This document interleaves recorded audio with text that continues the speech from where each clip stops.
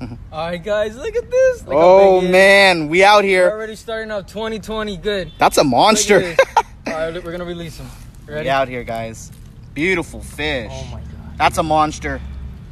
There you go. Come on.